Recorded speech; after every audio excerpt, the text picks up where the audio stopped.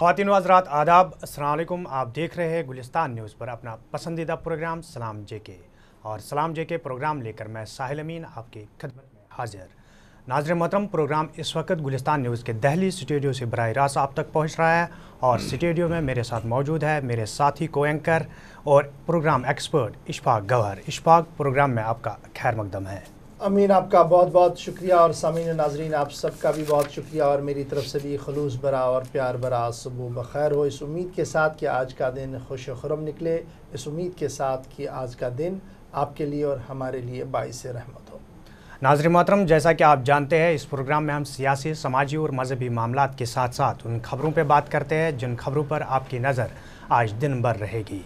लेकिन प्रोग्राम में सबसे पहले बात करेंगे असम्बली इजलास के हवाले से जहाँ चार रोज़ा जीएसटी के नफाज करने के लिए रियासती सरकार की जानब से चार रोज़ा सेशन का आगाज़ कल से हुआ और कल पहले ही दिन हंगामा असम्बली के बाहर और असम्बली के अंदर भी देखने को मिला जहाँ अपोजिशन जमातों की जानब से पहले मीडिया पर कदगन लगाने पर असम्बली के अंदर एहजाज किया और वेल में जो अपोजिशन के मेम्बरान हैं, वो वेल में आ गए और एहजाजी मुजाहरा करने लगे। उसके बाद बाबा तौर पर सरकार की जानब से सहाफ़ियों को मनाने की कोशिश की गई, जबकि असम्बली के स्पीकर कविंदर गुप्ता भी बजात खुद सहाफ़ियों से मिले और उन्हें उसके बाद इजाज़त दी गई है। इस सब पर बात करने के लिए मेरे साथ स्टूडियो में मौजूद है इशफाक गवर इशफाक। अमीन बिल्कुल, चार रोज़ा इजलास जो कि पहले ही ये अंदाज़ा था कि काफ़ी हंगामा खेज़ होगा और उसमें जिस तरीके से सरकार ने कल सफ़ाई दो तीन मामलों पर पहले ही कर दी कि जो मीडिया के हवाले से मामला चला था उसमें कहीं कम्युनिकेशन गैप का मामला था।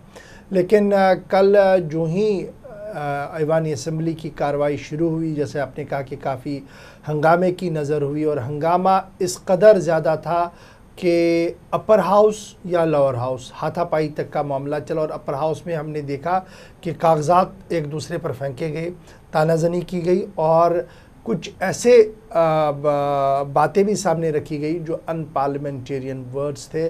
लेकिन चूँकि जीएसटी का मामला था, सियासत काफ़ी गर्म थी, दोनों ऐवानों में सरकार की तरफ़ से resolution goods and service tax के हवाले से दिया गया, जहाँ असम्बली के अंदर वज़ी ख़जाना साहब ने ख़ुद रेजोल्यूशन को मुँह किया और उस हवाले से गुफ्तु की। वहीं पर अपर हाउस में नई अख्तर अंद्राबी ने सरकार की तरफ़ से रेजोल्यूशन को मुँह किया और रेजोल्यूशन के मुँह करते करते उन्होंने भी उम्मीद ज़ाहिर की कि मस्बत सोच और अप्रोच के साथ मम्बरान कानून साजिया जो है वो इस पर गुफ्तु करेंगे।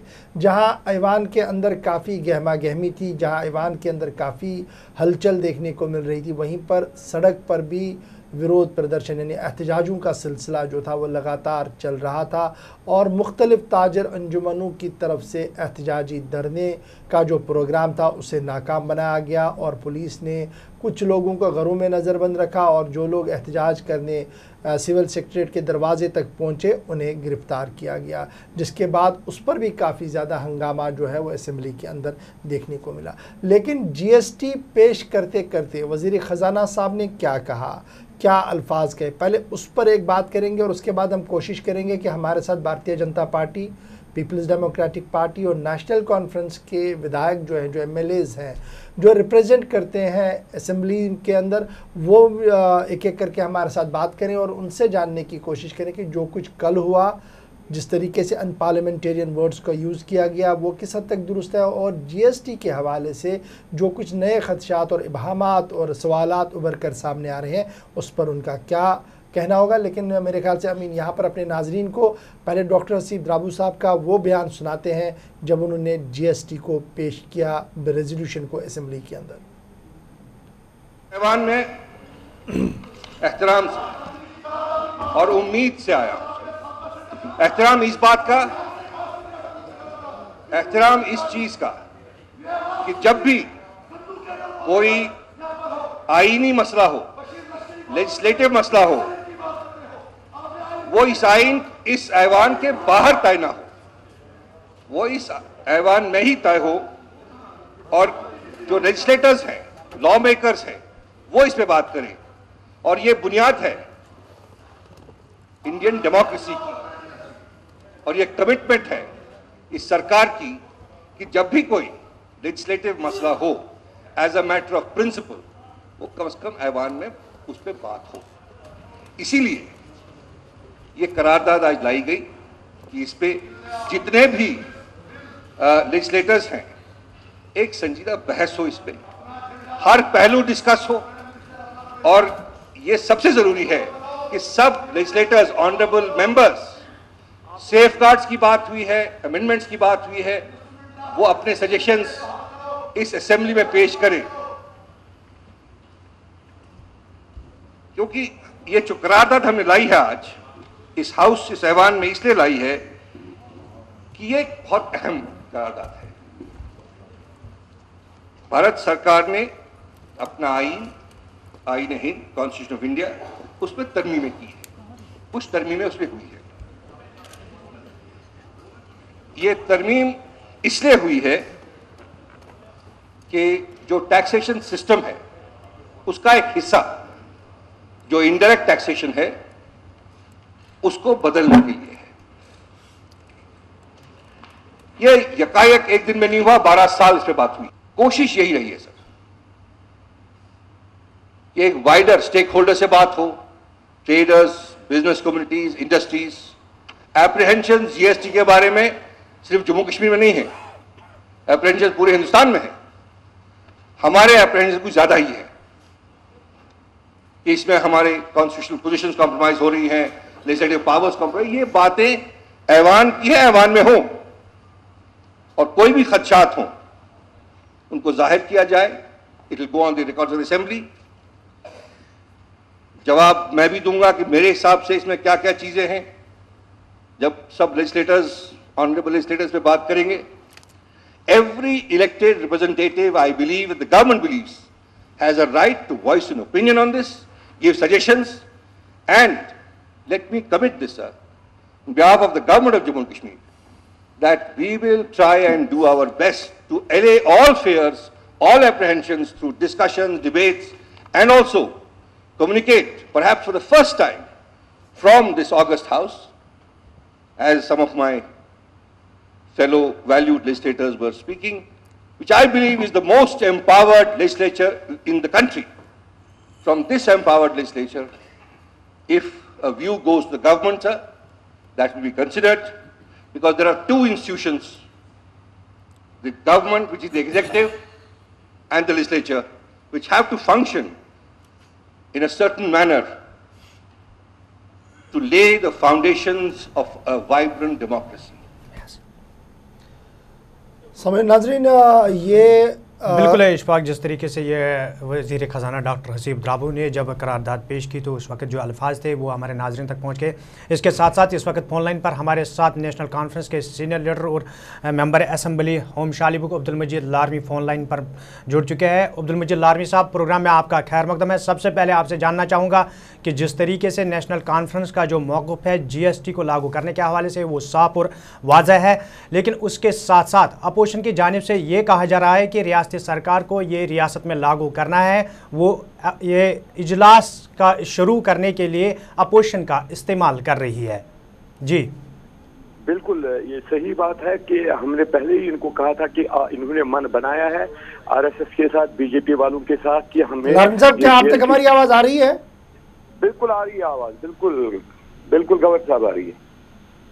हेलो? मेरे ख्याल से तकनीकी खराबी की वजह से इशफाक फ़ोन लाइन जो है वो जो दोबारा कोशिश करेंगे हम कि अब्दुल मजीद आर्मी से बात करें। फ़िलहाल भारतीय जनता पार्टी के सीनियर लीडर रमेश अरोरा साहब हमारे साथ हैं जो अपर हाउस के मेंबर भी है और जो कुछ कल अपर हाउस में हुआ है वो सबके सामने है। लेकिन फ़िलहाल बात करेंगे जीएसटी के हवाले से जहाँ पर लोअर हाउस यानी असम्बली के अंदर बाबा तौर पर रेजोल्यूशन को इंट्रोड्यूस किया गया वहीं पर अपर हाउस में भी किया गया और अपर हाउस में भी बहस जो है वो शुरू की गई है।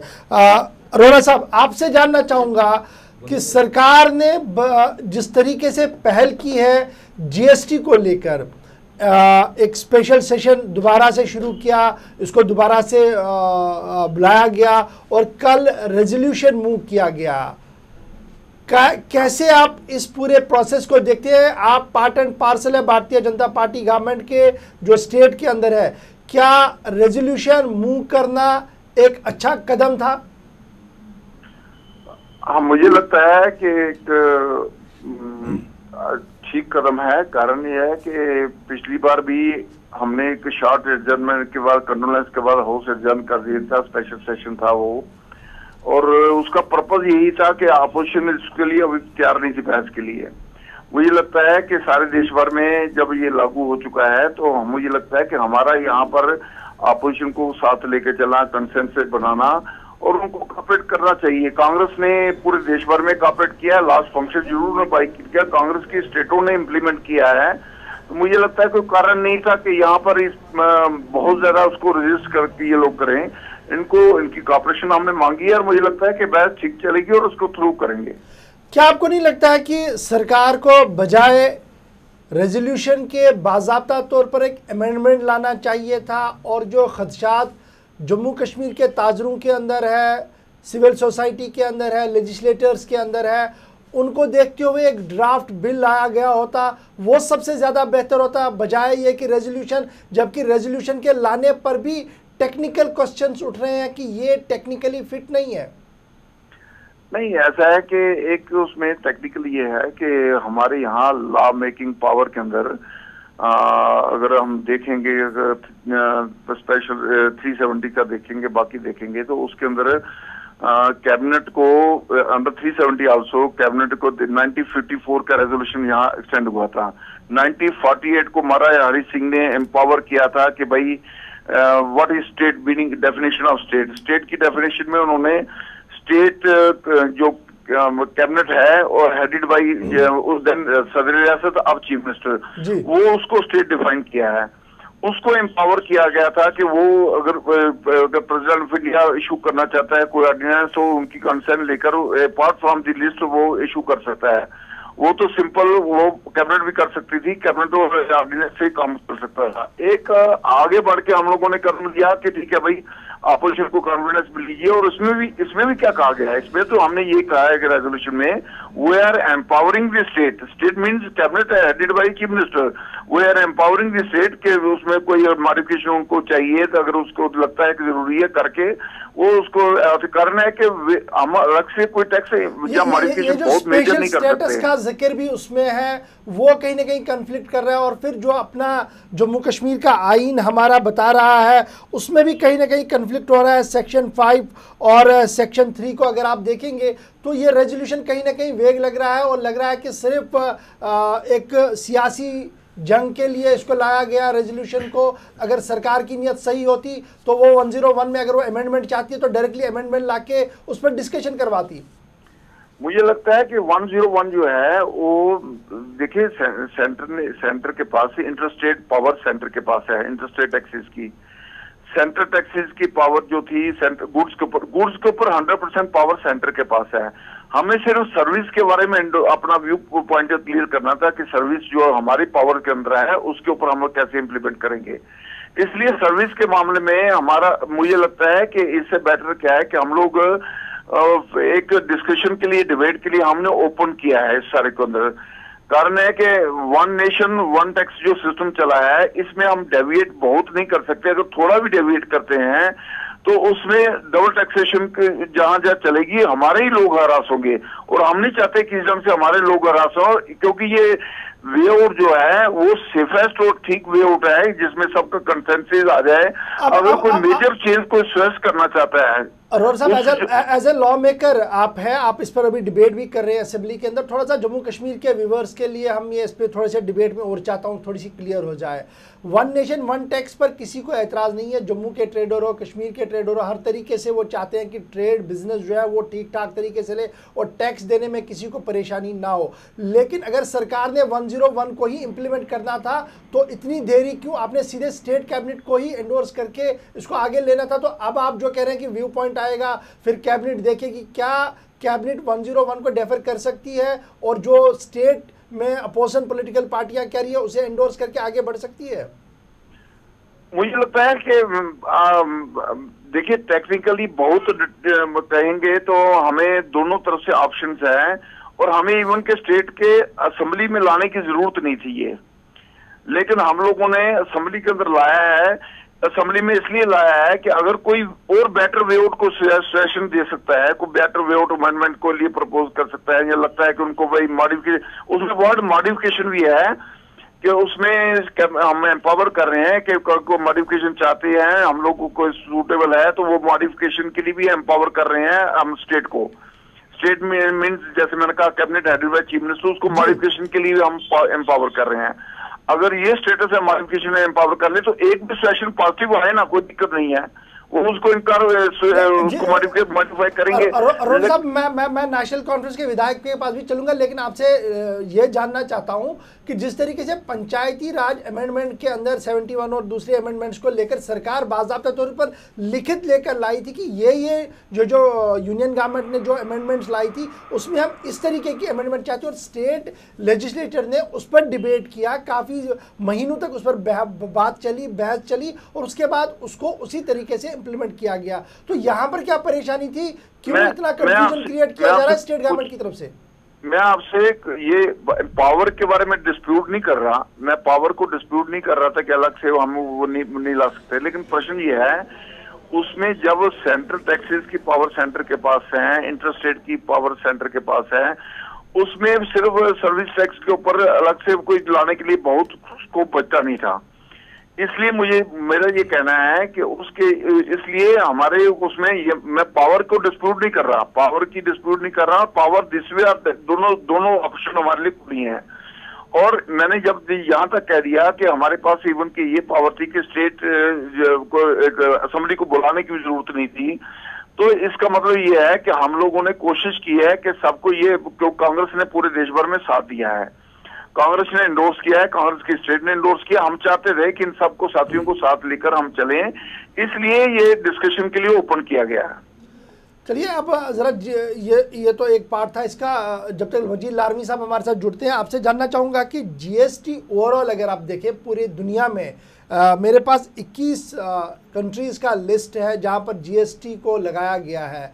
उन 21 कंट्रीज़ में सबसे ज़्यादा टैक्स जो है वो चाइना के अंदर है 17 परसेंट लेकिन हमारे इंडिया के अंदर जो नया टैक्स सिस्टम अब शुरू हो गया, वो 18 से 28 फ़ीसदी तक है 28 परसेंट तक है. कैसे आप इस टैक्स सिस्टम को देख रहे हैं? और कांग्रेस भी अब यहाँ पर बरम है कि जो सिस्टम उन्होंने 12 साल तक कोशिश की थी कि एक कंसेंसस पैदा हो, उसमें बैक वक्त काफ़ी बढ़ोतरी की गई और अट्ठाईस फ़ीसदी तक पहुँचाया गया। नहीं, मुझे लगता है कि आज मार्केट में हम लोगों ने ये अच्छी बात है कि ये सिस्टम जो है, सतारह साल सेवनटीन ईयर कॉन्स्टेंटली और रेटिंग एटीन मीटिंग में डिस्कस हुआ है। इतनी बड़ी डेलीब्रेशन शायद हिस्ट्री के अंदर कहीं हुई होंगी। जहाँ तक बात है कि जितने टैक्स जितने भी आइटम पर टैक्स बढ़ाया गया जिसको इस रेंज में लाया गया है, वो टोटल टैक्सेस हमारे यहाँ जो लगते थे, उनको ध्यान में रखते हुए उससे कम रखा गया है। इसलिए ये, हर एक कंट्री का पाकिस्तान ने पाकिस्तान का अपना सिस्टम है, चीन का अपना सिस्टम है, उन्होंने लगा रखे हैं। उनकी रिक्वायरमेंट अपने ढंग से थी। तीसरा, ये सबसे बड़ी बात हमारे देश में टैक्स पेइंग लोगों की बड़ी कमी थी। आज आज आज चीन चैलेंज करता है, बाकी मुल्क चैलेंज करते हैं तो हमारे पास मॉनिटरी रिसोर्सेज इतने चाहिए कि हम सर उठा के चल सकें। और वेपनरी पावर अगर खरीदना है तो टैक्स पैसा तो चाहिए। इसलिए टेस्ट सिस्टम को रिवाइव करने नए सिरे से लागू कर, मुझे लगता है कि हरकुलिस टास्क का जो बीजेपी गवर्नमेंट ने किया है, और ऐसे डिसीज़न जो कांग्रेस के समय भी कुछ लिबरलाइजेशन की पॉलिसी नरसिम्हा राव गवर्नमेंट के समय शुरू हुई थी। हमारी स्टेट के अंदर भी अगर उन्होंने एक्सपेरिमेंट ऐसे कुछ किए थे, और जो जो आप कह रहे हैं तो अगर 1975 में शेख उद्दुल्ला को लाया तो कौन सा प्रोसीजर कांग्रेस ने अडॉप्ट किया था? वो तो कैबिनेट उसकी थी, जो उसको हटा के चीफ मिनिस्टर को हटा के इसको ला दिया। हमने इतनी इलीगलिटी कोई नहीं कर रही है। हम तो डेलीवरेट करके इन्वॉल्व कर रहे हैं सबको। अभी अभी अभी जो मेरी समझ में आ रही है, वो यही है कि स्टेट के अंदर दोनों पार्टियाँ इस बात पर कंसेंसस पर है कि 101 इन टोटो अमेंडमेंट जो आया है पास होके उसी को स्टेट के अंदर इंप्लीमेंट कराया जाए। और अगर कहीं पर कोई फ़िज़िकल ऑटोनॉमी की बात आती है तो उस पर जो रिकमेंडेशन आएँगी उस पर स्टेट गवर्नमेंट सोचेगी कि क्या उसे इंप्लीमेंट किया जाएगा या नहीं। फ़िलहाल 101 को ही लगाया डेफिनेटली हमें अगर स्कोप लगता है तो करेंगे ना। ये सिर्फ़ इसलिए कि हमारा लाज हमारे लाज हमें लोग करते हैं इसलिए हमें करना है। ये तो कोई लॉजिक नहीं है। हाँ स्कोप लगता है तो डेफिनेटली स्टेट को करना करना चाहिए। लेकिन अगर अगर अगर ठीक है तो ठीक में इंटरफेयर करना सिर्फ़ इसलिए कि हमारी पावर दिखानी है ये ये कोई लॉजिक थोड़ा है। As a BJP law maker आप क्या समझते हैं कि 101 को इन टोटो इन्फोर्स होना चाहिए या कुछ अमेंडमेंट्स होनी चाहिए? नहीं अमेंडमेंट के लिए अभी तक मैं ईमानदारी से बताऊँ, अभी तक ना पिछले सेशन में, ना पिछले सेशन तो एडजर्न हो गया था। अभी एक भी सेशन नहीं आई कि क्या मॉडिफिकेशन या क्या हम वन ज़ीरो वन में क्या लाना चाहते हैं। अगर कोई सेशन आती है तो डेफिनेटली उस पर डेलीवेशन होगी। हसीब द्राबू साहब हसीब द्राबू साहब on the floor of the house कह चुके हैं कि कुछ मामला हैं जो पेचीदा मामला है जिन पर बात होनी चाहिए। अगर सरकार को यह पता है कि पेचीदा मामला है तो उनका हल सरकार लेकर क्यों नहीं आई? उस पर डिबेट होता। नहीं आप ये तो द्राबू साहब ही बता सकते हैं लेकिन हमें लगता है कि ये वेलकमिंग स्टेप होता कोई दिक्कत नहीं है। वेलकमिंग स्टेप होता। कांग्रेस की ओर से एनसी की ओर से कुछ इस तरह को कंक्लूड को बात आती। तो बात आती तो डेफिनेटली गवर्नमेंट कंसिडर करेगी लेकिन बात अभी तक कोई पूरी अच्छा, अभी अभी अभी एक बड़ा कंसर्न जो है वो इसके हवाले से दूसरा पार्ट है। जम्मू में जो हमारा वेयर हाउस है वो अब आहिस्ता आहिस्ता खाली हो रहा है। पिछले चार पाँच दिन से सप्लाई नहीं आ रही है। तो स्टेट इसे कैसे अब फिल करेगी? क्योंकि अभी मुझे लगता है कि तीन दिन और वेट करना पड़ेगा और तीन दिन के दौरान बहुत सी डिफिशेंसी जो है वो स्टेट के अंदर पैदा होगी। मैं मावी चाहता हूँ मैं दिल्ली में था। दिल्ली में मैंने डिफरेंट दुकानदारों से मेरे बिज़नेस एसोसिएशन के दो तीन लोग मिलने आए थे और बाकी से बात हुई और खुद भी मार्केट के अंदर कुछ लोगों से मिलने के लिए गया था। मैंने वहाँ भी ऑब्ज़र्व किया है। अभी जो है वो दुकानदार जो है जीएसटी के फॉर्मेट को लागू करने कर, कर, करने के प्रोसेस में है और उस प्रोसेस के अंदर उन्होंने क्या किया है कि अभी माल पूरा निया मंगाना कम किया लगभग नहीं मंगवा रहे हैं। और नॉमिनल अब शुरू करेंगे तो नए सिस्टम से शुरू करेंगे। इसलिए पुराने स्टॉक को वो बाहर निकाल रहे थे, जिसमें बड़ा कोई कंफ्यूजन नहीं है उनके लिए, उनके दिमाग में। मुझे लगता है कि भाई उनको रेगुलेट करने के लिए आखिर इतना बड़ा स्टेप है कि मैंने जैसे कहा हरकुलिस टास्क का इतना बड़ा स्टेप गवर्नमेंट ने लिया है। और चाहे डिमोनेटाइजेशन का हो, कि इसका स्टेप हो, मुझे लगता है कि देश के लिए सारे देश के हित में है जम्मू कश्मीर के हित में है। इसलिए इसकी एक्सरसाइज को कुछ समय तो लगेगा। ये तो एडमिटेड फैक्ट है, ऐसा तो नहीं हम कह सकते कि समय नहीं लगेगा।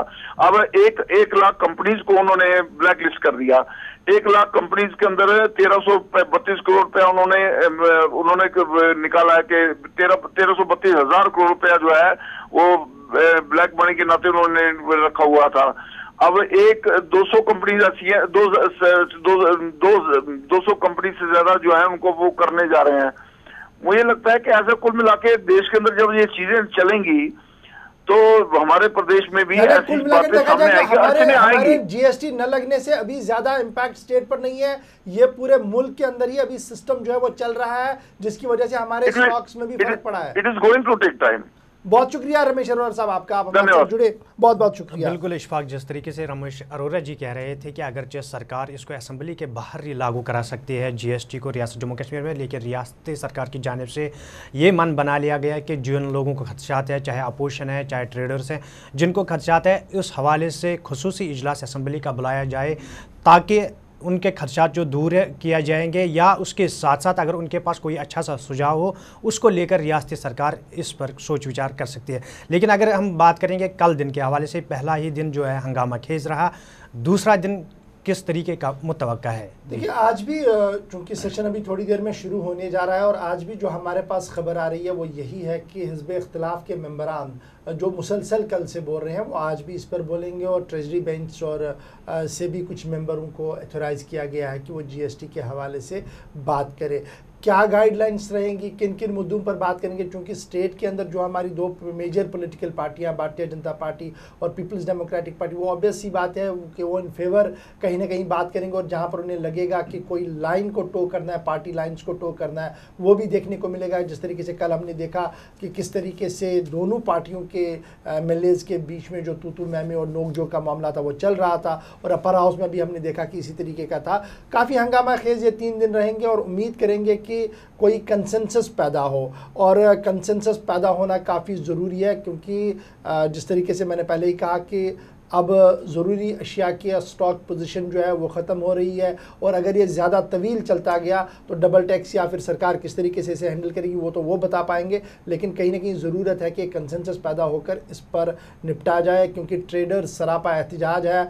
आज भी अगर आप देखेंगे तो ट्रेडर्स ने अपनी एहतजाजी कॉल को इस वक्त यहाँ पर यहाँ पर एक सवाल जहन में आ रहा है कि अगरचे सरकार की जानब से ये सोचकर असम्बली सेशन खसूस बुलाया गया था कि ताकि अगर अपोजिशन के जो खदशात हैं उनको दूर किया जाए या अगर उनके पास कोई अच्छा सा सुझाव हो तो उसको देखेंगे। लेकिन कहीं ना कहीं जिस तरीके से अपोजिशन जमातों की जानब से कल पहले ही दिन असम्बली के अंदर एहजाज हुआ है सरकार की भी कुछ खामियाँ हैं कि वो उसको उस तरीके से अपोजिशन के पास नहीं ला सके जिस तरीके से उनको ला, लाना चाहिए था।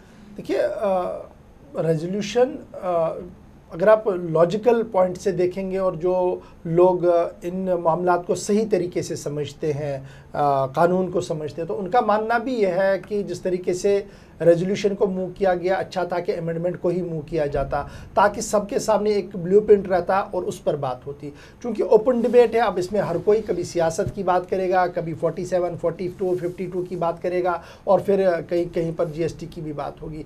लेकिन कोशिश सरकार की है जिस तरीके से सरकार ने कहा है कि वो हर एक के व्यू पॉइंट को सुनना चाहेंगे और at the end of the day state cabinet ने अब ये डिसीज़न करना क्योंकि अगर ये बिल लाया होता तो असेंबली से एंडोर्स करती। ये बिल है नहीं ये रेजोल्यूशन है। Resolution with voice vote pass होगा या रेजोल्यूशन विद पास होने के बाद जो है, वो आगे बढ़ाया जाएगा और उसके बाद ही स्टेट कैबिनेट जो है, वो फाइनल डिसीज़न लेगी इसमें कि किस तरीके से आगे हमने चलना है। तो फ़िलहाल अगर आप देखेंगे तो आज का दिन भी जो है, वो काफ़ी हंगामा खेज जो है, वो रह सकता है और हंगामा खेज रहने की वजह जो है, वो यही है जीएसटी जिस पर कल से हम मुसलसल बात कर रहे हैं। बिल्कुल इशफाक जिस तरीके से जीएसटी के हवाले से असम्बली के अंदर कल से ही हंगामा हुआ है और आज का दिन भी यही मुतव है कि आज भी हंगामा देखने को मिलेगा लेकिन दूसरी जानब ट्रेडर्स की जानब से आज कश्मीर बंद की कॉल दी गई थी।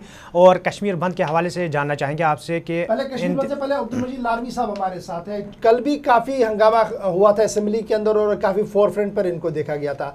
मजीद साहब आपका बहुत शुक्रिया। आप दोबारा हमारे साथ जुड़े हैं। जिस तरीके से सरकार ने सेशन को बुलाया है जीएसटी को लेकर स्पेशल सेशन है।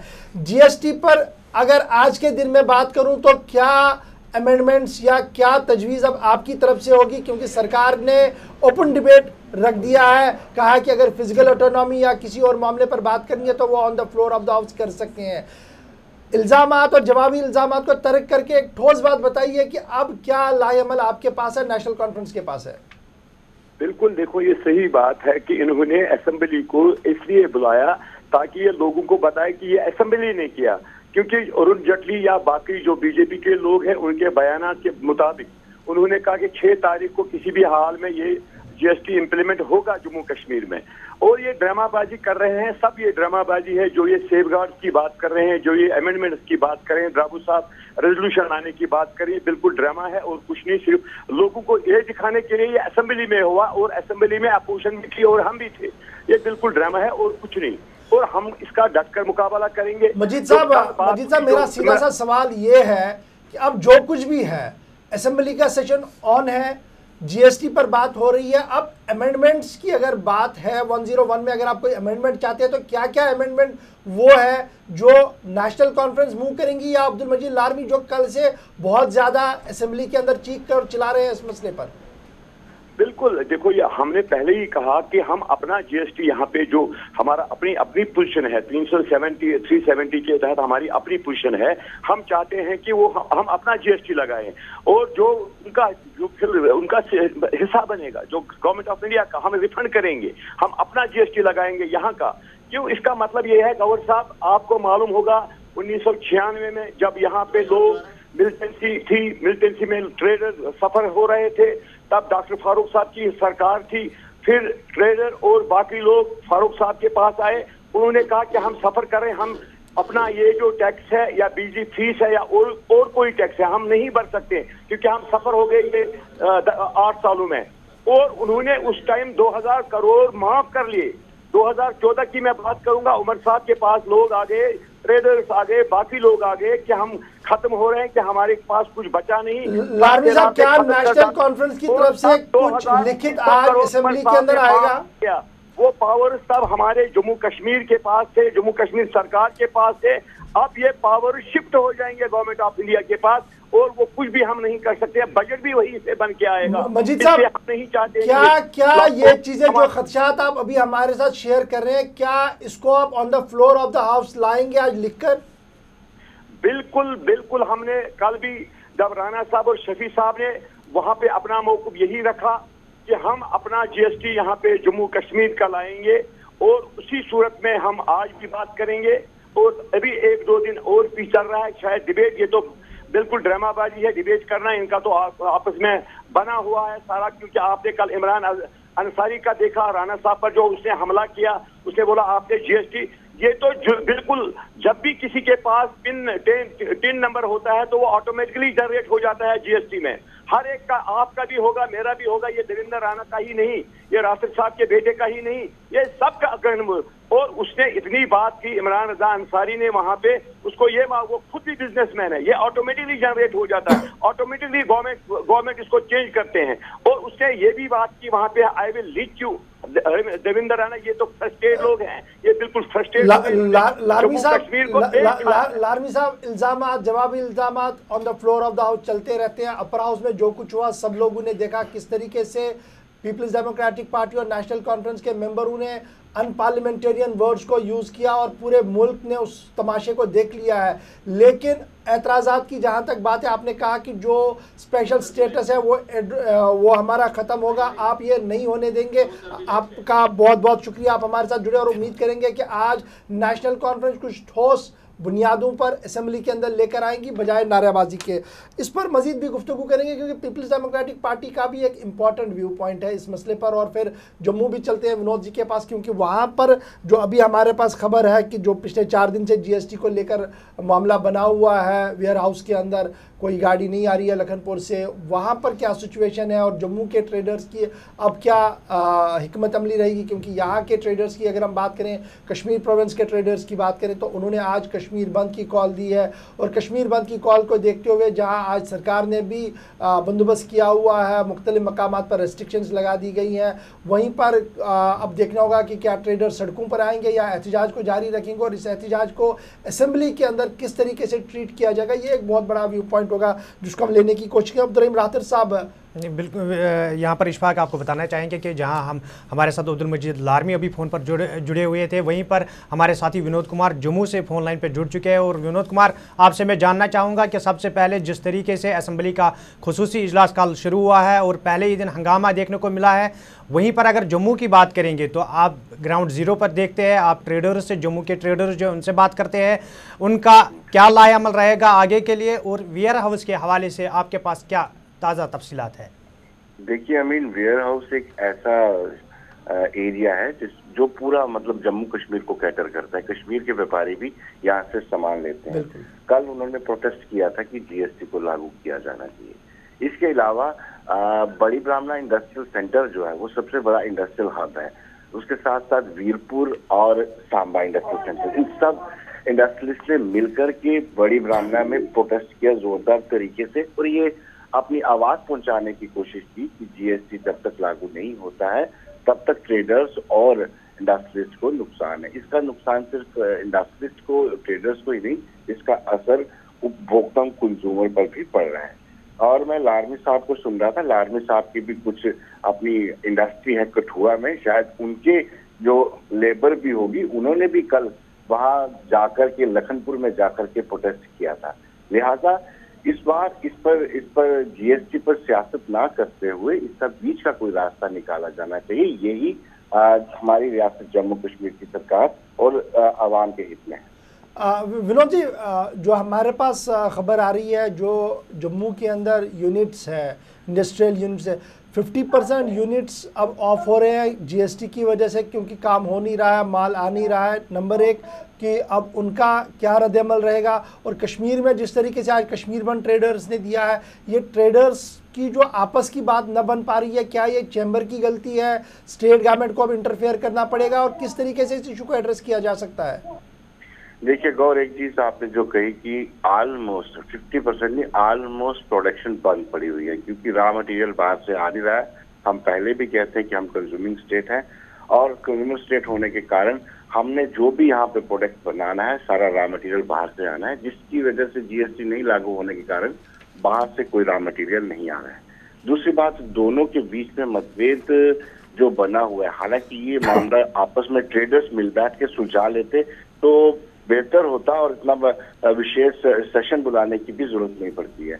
कहीं ना कहीं दोनों के बीच में इख्तलाफ है। लेकिन सच्चाई ये है कि कश्मीर के ट्रेडर्स भी चाहते हैं कि जीएसटी लगे। आ, जैसे कल हाउस के अंदर ही इस बात इस बात को लेकर के बड़े जोरदार तरीके से कहा गया कि राना राना साहब और जो राठौर साहब के बेटे हैं उन्होंने जीएसटी में अपनी रजिस्ट्रेशन करवाई है। इस तरह ऑलमोस्ट काफ़ी सारे वेयर हाउस के व्यापारी बता रहे हैं कि उनके काउंटर पार्ट जो कश्मीर में है करीब साठ फ़ीसदी लोग जो है जीएसटी के साथ जुड़ चुके हैं रजिस्ट्रेशन करा चुके हैं कश्मीर के। तो कहीं ना कहीं इस पे सियासत ना करते हुए, जैसे मैंने पहले कहा, एक बार तो फिर कहूँगा कि कोई बीच का रास्ता निकालने की ज़रूरत है। बिल्कुल, बीच का रास्ता निकालने की ज़रूरत है और जो फिगर्स बता रहे हैं, वो यही है कि पिछले चार दिन के दौरान फ़िलहाल स्टेट को तकरीबन 200 करोड़ रुपए का नुकसान जो है, वो इस वेयर हाउस में काम न होने की वजह से हुआ है।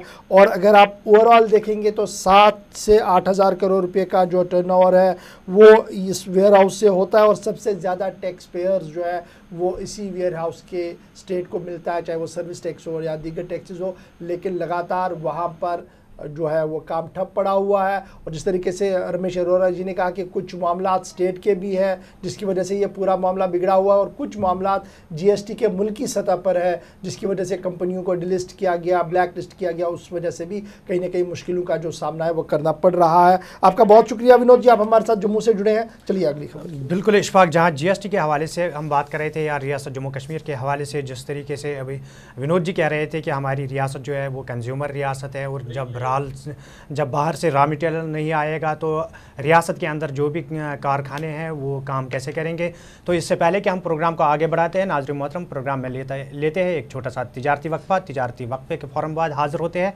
आप देखते रहे गुलिस्तान न्यूज़ पर अपना पसंदीदा प्रोग्राम सलाम जे के धोखे दिवान बहुत मे पाए वो चलानी बहुत वो हाँ कोई बात नहीं है। ये सर ये ठीक करवा दो ना एक ही दिन। सर मुझे पता ही नहीं था उस टाइम मैं इसकी तरफ़ देख रहा था। फिदरा ले आया? वही रेल ना सर। हाँ, हाँ यात्रा जोड़ो फिदा को और सलीम को दोनों को जोड़ो साथ साथ इससे धोखा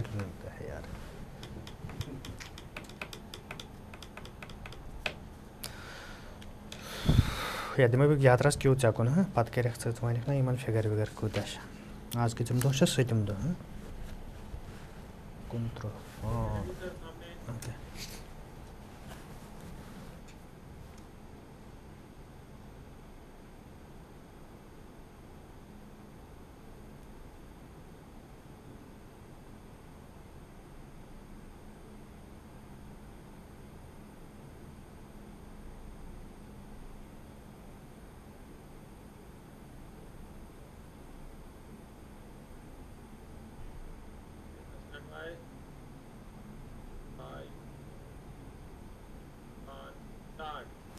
ब्रेक के बाद आपका एक बार फिर खैर मकदम है। प्रोग्राम में नाजरीन प्रोग्राम है। सलाम जे की। नाजरीन मोहतरम, प्रोग्राम में आप जीएसटी के बाद बात करेंगे अमरनाथ यात्रा के हवाले से। जी हाँ उनतीस जून से बाबा तौर पर अमरनाथ यात्रा शुरू हुई है और इस पर जहाँ नुनवन बेस कैंप से अपने साथी फ़िदा हुसैन से जुड़ने की कोशिश करेंगे, वहीं पर बालतल बेस कैंप के हवाले से ताज़ा जानकारी के लेने के लिए अपने साथी सलीम से भी जुड़ने की कोशिश करेंगे। लेकिन इससे पहले इशफाक आपसे जानना चाहूँ कि ओवरऑल अभी तक कितने यात्रियों ने यात्रा की, पवित्र गुफा के दर्शन किए हैं और अभी तक जो इसमें यात्रा जो जिनकी मृत्यु होती है, चाहे हरकत क्लब बंद होने की वजह से या दूसरी तरीके से अभी तक आपके पास क्या फिगर है? देखिए, यात्रा जो है वो लगातार जारी है, चाहे जिस तरीके की भी सियासत, रियासत के अंदर हो, लेकिन यात्रा पर कोई असर इसका नज़र नहीं आ रहा है और यात्रा शबाब के साथ चल रही है, काफ़ी जोश जज्बे के साथ चल रही है और फिल वक्त जो अदाद शुमार हमारे पास आ रहे हैं तकरीबन अस्सी हज़ार के करीब आसपास लोगों ने आज सुबह तक यात्रा जो है वो मुकम्मल किया यानी जिन लोगों ने दर्शन मुकम्मल करके वो वापस अपने अपने इलाकों की ओर रवाना हुए हैं। और अभी तक अगर कल दिन की हम बात करें तो कल सोलह हज़ार के करीब यात्रियों ने शिवलिंगम के दर्शन करके वापस अपने बेस कैंपों की ओर रवाना हुए तो और कल रात को उनको आबाई इलाकों की ओर रवाना भी किया गया।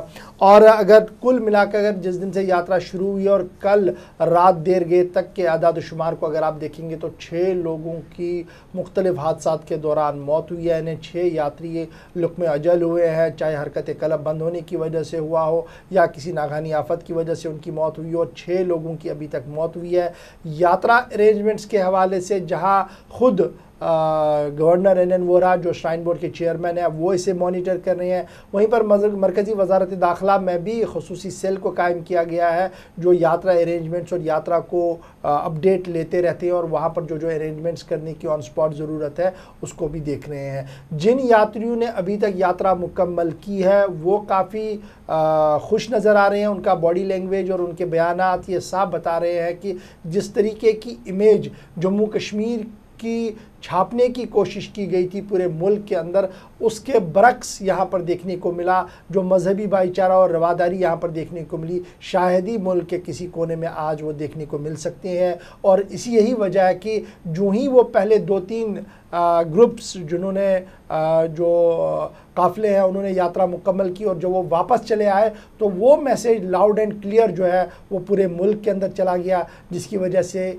आज के दिन में भी बेस कैंप चाहे नगरोटा के, जम्मू के अंदर हो, या बेस कैंप जो बालतल का हो या पहलगाम का हो, वहाँ पर यात्री खचाखच भरे हुए हैं। न सिर्फ़ इन जगहों पर, अगर आप शहर श्रीनगर की बात करेंगे, चाहे डल का एरिया हो या फिर गुलमर्ग का एरिया हो या दीगर मुग़ल गार्डन्स हो, वहाँ पर भी शाम को यात्रियों की एक कसीर तदाद जो है वो देखने को मिलती है और उनकी हिफाजत के लिए जहाँ मकामी सतह पर पुलिस को मुतहरक रहने को कहा गया है, वहीं पर मकामी नौजवानों ने भी अपने तरीके से ये फ़ैसला लिया है कि यात्रियों को कोई चीट ना करे और यात्रियों को हर मुमकिन सहूलियत यहाँ पर मिले। उन्होंने मकामी तौर पर भी वो इंतज़ाम किए हैं। ये गैर सरकारी तौर पर किया गया और सर सरकार ने अपने तरीके से किया है। जो एक पॉजिटिव मैसेज यहाँ से जानी चाहिए थी, मुझे लग रहा है कि फ़िलहाल वो लगातार जारी है और उम्मीद करेंगे कि ये यात्रा और ज़्यादा बढ़े और पीसफुली कंक्लूड हो ताकि जम्मू कश्मीर जिस चीज़ के लिए जाना जाता है मजहबी भाईचारे और रवादारी के लिए वो मिसाल हमेशा के लिए कायम रहे। बिल्कुल इशफाक जिस तरीके से आपने कहा कि जो पहला काफिला यात्रियों का आया उनकी जो मैसेज थी वो पूरे मुल्क में गई पूरे मुल्क में क्या पूरी दुनिया में वो मैसेज गई कि जिस तरीके से रियासत जम्मू कश्मीर खासकर वादी कश्मीर की इमेज छापने की कोशिश की जा रही है यहाँ आकर उसके बरकस देखने को मिल रहा है। वहीं पर जब से यात्रा शुरू हुई है और ये मैसेज सामने आए, उसके बाद कहीं ना कहीं वादी की ओर जो दूसरे सयाह है, उन्होंने भी आना शुरू किया है। चाहे जलडल की आपने बात की या गुलमर्ग की या दूसरे सेहत अफजा मकाम की, वहाँ पर भी आजकल सयाहों के रश को देखा जा रहा है। यहाँ पर हमारे साथ गांधरबल बेस कैंप से जुड़ चुके हैं, जो बालतल का बेस कैंप है, अपने साथी सलीम। सलीम, प्रोग्राम में आपका खैर मकदम है और सबसे पहले आपसे जानना चाहेंगे, मौसम के बारे में, मौसम का मिजाज कैसा है और उसके साथ साथ क्या तफसीलात है बालतल बेस कैंप के हवाले से आपके पास? देखिए अमीन आज सुबह जो बालतल ट्रेन जब सुबह यात्रियों को पवित्र गुफा की तरफ़ रवाना किया गया था लोग एक घंटे को यात्रा को रवाना किया गया था, उसके बाद मौसम जो बालतल बेस कैंप का, वो बालतल मौसम काफ़ी उसमें बादल छाए थे और बारिश भी बीच बीच में होती है। तो इसलिए वहाँ पे जो बेस कैंप में एडमिनिस्ट्रेशन है, उन्होंने यात्रा को रोका है। अभी यात्रा रुकी है हेलीकॉप्टर सर्विस भी अभी रुकी है। मौसम खराब है तो अभी इंतजामिया का ये कहना है कि जो ही मौसम में साजगारी आएगी तो यात्रा को पवित्र गुफा की तरफ़ रवाना किया जाएगा। सलीम, जो यात्री कल रात को बेस कैंप पर पहुँचे हैं, क्या ये वही यात्री रोके गए हैं, या जो अभी वहाँ पर ऑन स्पॉट रजिस्ट्रेशन वाले पहुँच चुके हैं या ये वो यात्री है? और जो यात्री वहाँ बेस कैंप पर है, क्या वहाँ पर माकूल इंतज़ाम किया गया है उनके रुकने के हवाले से? क्योंकि बेस कैंप पर हम देखते हैं कि ज़्यादा गुंजाइश रोकने की बहुत कम रहती है। जी गवर कल शाम को बालताल बेस कैंप में पाँच हज़ार पाँच सौ की यात्री करीब पहुँची है, जो जम्मू से उनको, जम्मू से रवाना किया गया था। और जो वापस जो केव से जो यात्रियाँ आती है, वो उसी सेम डे वो वापस श्रीनगर की तरफ़ रवाना होते हैं। कल शाम को जो नई यात्रा वहाँ पे बेस कैंप पे पहुँचे, पाँच हज़ार तीन सौ, उन्हीं यात्रियों को आज सुबह एक घंटे को पवित्र गुफा की तरफ़ रवाना किया गया था। लेकिन जो मौसम का जो हाल था, मौसम का मिजाज था, वो काफ़ी खराब था। तो फिर जो वहाँ पे जो इंतज़ाम है, इंतजामिया है तो उन्होंने यात्रियों को रोका था। तो इसलिए जो वहाँ के इंतज़ाम है पूरे अच्छे हैं। इस बार जो क्या क्या क्या क्या यह माना जाए कि एक आध घंटे के दौरान मौसम साजगार होगा और यात्रा को दोबारा शुरू किया जा सकता है? मौसम का अभी हाँ मौसम का जो वहाँ का जो मौसम है उसमें काफ़ी बद, एक एक आधे घंटे में बदलाव आता है। जो ही मौसम ठीक है इंतजामिया का कहना है कि उसी टाइम हम यात्रा को पवित्र गुफा की तरफ़ रवाना बहुत शुक्रिया बहुत शुक्रिया सलीम आपका। फ़िलहाल बालतल बेस कैंप से यही खबर है कि सुबह यात्रा को शुरू किया गया था मौसम ख़राब होने की वजह से यात्रा को रोका गया और सभी यात्रियों को फ़िलहाल बेस कैंप पर ही रोका रोका गया और जो हवाई सफ़र यानी जो हेलीकॉप्टर के ज़रिए सफ़र करते हैं यात्रा करते हैं वो सफ़र भी फ़िलहाल रोका गया और उम्मीद करेंगे कि मौसम का मिजाज बेहतर हो ताकि यात्रा दोबारा शुरू करें पहलगाम का रुख करते हैं। फिदा बताइएगा ज़रा कि किस तरीके की सूरत हाल है पहलगाम बेस कैंप पर क्योंकि पहलगाम का भी मौसम जो है वो ज़्यादा मेरे ख्याल से अभी अभी जो फिदा है फिदा फ़ोन लाइन पर अभी नहीं आए और उनके साथ रबता नहीं हुआ है।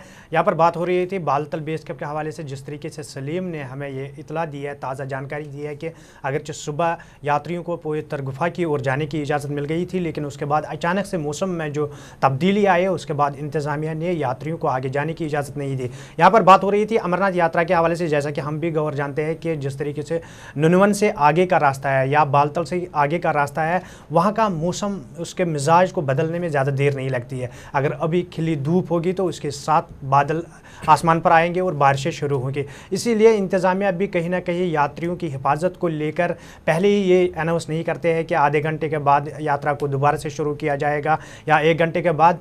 इसीलिए ये खबरें सामने भी आ रही है कि इसकी अनाउंसमेंट जो है वो वाजह तौर पर जब मौसम साजगार होगा उसके बाद इंतज़ामिया की जानब से उन्हें आगे ये ये जो डिसीजंस रहते हैं ये ऑन स्पॉट डिसीज़न से और जो लोकल लेजॉन ऑफिसर्स केव से लेकर बेस कैंप तक रहते हैं, वो लगातार इन टच रहते हैं कंट्रोल रूम पीसीआरस के साथ और वो उन्हें बताते रहते हैं कि किस तरीके का मौसम है। बूंदाबांदी के दौरान देखा गया है कि यात्रा को चलने की इजाज़त रहती है, लेकिन जिस वक्त तेज़ हवाएँ और बारिशों का सिलसिला हो, उस वक्त इसको रोका जाता है, क्योंकि कहीं ऐसे मकाम हैं जहाँ पर शूटिंग स्टोन्स भी होती है और फिर जब ज़्यादा बारिश होती है तो फिसलन की वजह से भी इस यात्रा को रोका जाता है और यही वजह है कि कोई ज़्यादा जानी नुकसान ना हो और कोई इम्पैक्ट इस यात्रा पर गलत ना पड़े, यही वजह कि इंतज़ामिया इस बार काफ़ी फूक फूक कर कदम उठा रही है और फ़िलहाल जो बालतल बेस कैंप है, वहाँ पर पिछले एक घंटे से यात्रा जो है वो रुकी हुई है। फिदा हुसैन अभी बालतल की हम बात करें वहाँ पर मौसम का मिजाज जो है वो बेहतर नहीं है, इस वजह से यात्रा को रोका गया है। आपसे जानना चाहूँगा कि पहलगाम की सूरत हाल क्या है और बेस कैंप पर किस तरीके का माहौल बना हुआ है? क्या वहाँ पर भी मौसम के मिजाज की वजह से यात्रा को मौखर करना पड़ा? बिल्कुल गवर मैं आपको बता दूँ कि मौसम अभी बिल्कुल जिला अनंतनाग में ठीक नहीं है। हालाँकि बादल छाए हुए, बारिश नहीं पड़ी है, लेकिन पहलगाम में बादल भी है और बारिश भी पड़ी है, जिसकी वजह से यात्रा को अभी रोकना ही पड़ा। लेकिन जो एडमिनिस्ट्रेशन है और जो यात्रा ऑफिसर है, उनका यही कहना है कि यात्रा कुछ देर के बाद ही यात्रा शुरू करेंगे हम, क्योंकि आगे जो मौसम है वो बिल्कुल खराब है, बारिशें पड़ रही है, जिसकी वजह से हमने यात्रा को मौखर करना पड़ा। और यात्रा जो ही मौसम ठीक होगा तो हम यात्रा को फिर से शुरू करेंगे। गौर। अभी अगर बेस कैंप की बात करें, जो लोग कल रात को जम्मू से रवाना हुए थे, वो अभी जो अनंतनाग का बेस कैंप है, वहाँ पर पहुँच चुके होंगे। इंतज़ाम किस तरीके के हैं? और अगर ज़्यादा बारिशें होंगी तो कब तक इन्हें वहाँ पर रोका जा सकता है? बिल्कुल गवर्नर, अगर क्योंकि पहले ही इनको पता होता है कि हमारे पास कितनी स्पेस है और उतनी ही यात्री जो है वो बेस कैंप पहुँच जाते हैं और वहाँ पे जितने भी टेंट्स है। और मैं आपको बता दूँ कि टेंट्स के अलावा जो होटलियर्स है, वो कुछ लोग ऐसे हैं कि जो होटलों में बैठना पसंद करते हैं। होटलों में भी वो बैठते हैं, उसके बाद वो अपनी रजिस्ट्रेशन लेके या तो बेस कैंप पहुँच जाते हैं वहाँ पे उनकी तलाशी ली जाती है और उनको आगे जाने की इजाज़त मिलती है। अगर बारिश भी हो जाती है अगर मौसम भी खराब रहता है फिर भी इनके पास स्पेस है और वहाँ पे खाने पीने की व्यवस्था जो है वो पहले ही रखी गई है और यात्रियों को किसी तरह के मुश्किलों का सामना नहीं करना पड़ेगा वहाँ पे खाने पीने के हवाले से। फ़िलहाल कुल मिलाकर देखा जाए न तो पहलगाम से और ना ही बालतल से यात्रा को शुरू किया गया है मौसम की वजह से और लगातार जो जिस तरीके से खबर आ रही थी कि आज बारिशों का सिलसिला रियासत के अंदर हो सकता है, वही वजह है कि फ़िलहाल यात्रा को वादी में रोका गया है। और आप तो आपका बहुत शुक्रिया, आपसे और भी अपडेट लेते रहेंगे और उम्मीद करेंगे कि यात्रा दोबारा शुरू और जो ही यात्रा दोबारा शुरू होगी, आपको वो अपडेट भी हम बताते चलेंगे। ज़रा डीजीपी की खबर को उठाए।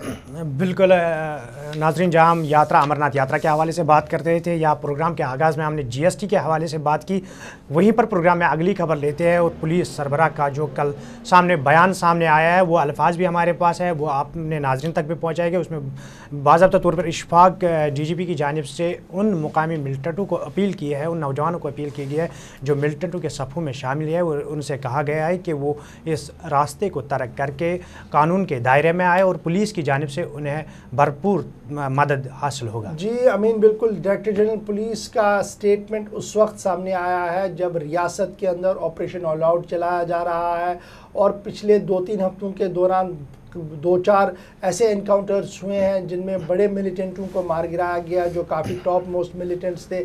लेकिन उनके इनकाउंटर के दौरान जो ऑडियो क्लिप्स चाहे सोशल मीडिया नेटवर्किंग साइट्स के ज़रिए से आई हो या पुलिस का जो अपना नेटवर्क है, उन्होंने जो ट्रेप की है उन्होंने जो रिकॉर्ड किया, उसको देखने के बाद डायरेक्टर जनरल पुलिस का जो मैसेज है वो सामने आया जिसमें उन्होंने सभी मुसल अफराद से ये अपील किया कि वो हथियारों को छोड़कर कौमी दायरे में आए।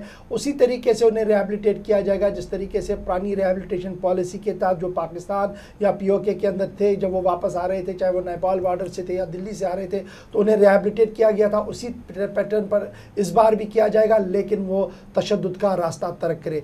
आइए, पहले सुनाते हैं अपने नाजरन को doctor general police Jammu Kashmir ने क्या कहा उन नौजवानों के लिए, जिनके हाथ में बंदूक है। किसी की जान जाती है तो बहुत दुख होता है। एक इंसान के तौर पर खुदा ने कहा है, किसी भी इंसान का कत्ल, पूरी इंसानियत का कत्ल है। जे की पुलिस ने पिछले कुछ महीनों में चुरुंजा अफराद को मिलिटेंसी की गिरफ्त से निकाला। उनको जो लोग भटक गए थे और मिलिटेंसी ज्वाइन कर गए थे। उनको हमने वापस लाया, मेरे अफसरों और जवानों ने उनके माँ बाप से, उनके परिवारों से बात करके उनको वापस लाया और ये सिर्फ़ चरूजा लोगों की जान ही नहीं बची, उनके परिवार को बचाया है। मैं चाहता हूँ कि इसी तरह से जो हमारे बाकी बच्चे बंदूक उठाकर दहशत गर्दी की गिरफ्त में आए हैं, वो वो रास्ता छोड़ के वो जो दहशत गर्दी का रास्ता है, उसको छोड़ के अपने घरों में वापस आए। जे की पुलिस एक उनसे भरोसे से वायदा करती है कि किसी को भी किसी किस्म की तकलीफ़ नहीं होगी। अगर उन्होंने कोई क्राइम नहीं किया होगा तो इन लड़कों को हम सही राह पर लाएँगे। इनको एक रोज़गार कमाने का की, की उसके लिए ट्रेनिंग देंगे। इनको अपने कदमों पर खड़ा होने का मौका देंगे। पच्चीस हज़ार लोगों ने पिछले सताईस सालों में दहशत गर्दी का रास्ता छोड़ा है या पाकिस्तान से वापस आए हैं। और आज वो एक नॉर्मल ज़िंदगी गुजार रहे हैं। ये थे पुलिस सरबरा एसपी वेद के वो अल्फाज जिसमें उन्होंने उन मुकामी नौजवानों को अपील की है, जिन्होंने मिलिटेंटों के जो मिलिटेंटों के सफ़ों में शामिल हुए हैं, उनसे कहा है कि वो इस रास्ते को तर्क करे और वापस आए, उसमें उन पुलिस उनकी मदद करेगी।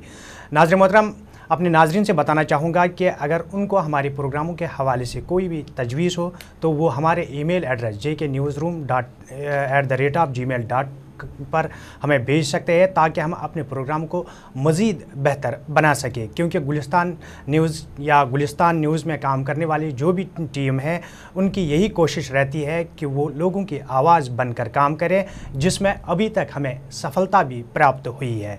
नाजरीन, आज के प्रोग्राम में बस इतना ही। अपने मेज़बान साहिल अमीन और इशफाक गवर को आज का प्रोग्राम यहीं पर अख्ताम करने की दीजिए इजाज़त। अल्लाह हाफिज़।